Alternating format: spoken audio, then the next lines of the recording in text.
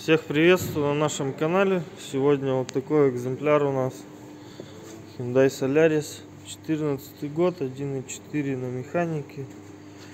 Подгорел моторный отсек. В остальном автомобиль полностью целый.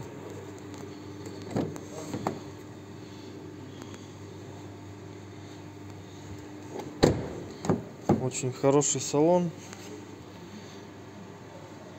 Здесь позаду все целое. Задние электростеклоподъемники. Здесь регулировка зеркал, центральный замок, мультируль. Руль в хорошем состоянии, не затертый. Здесь стандартная магнитола. В принципе, больше ничего нету. Такой вот плафон. Сиденье в хорошем состоянии.